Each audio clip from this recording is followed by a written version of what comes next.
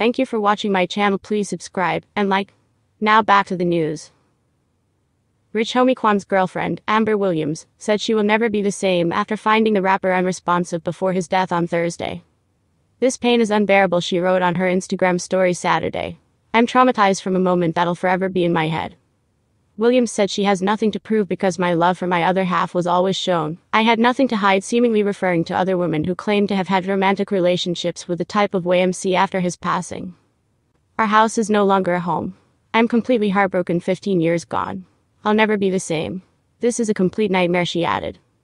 We never could let go, but you didn't have to leave me like this. Number num.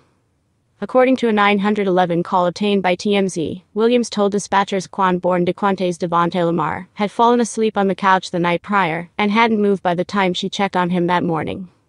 She said she put a blanket over him, thinking he was asleep, before taking her son to school.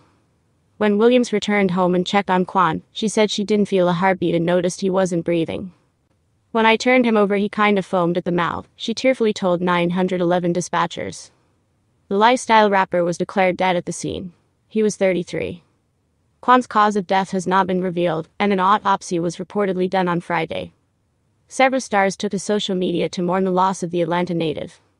May God be with us, never saw this being a part of our journey, wrote Quavo on his Instagram stories, alongside a throwback photo of his group, Migos, and Quan's rap group, Rich Gang. Atlanta Hawks star Trae Young wrote, The A lost a great artist, but an even better person today, always check on your brother's man.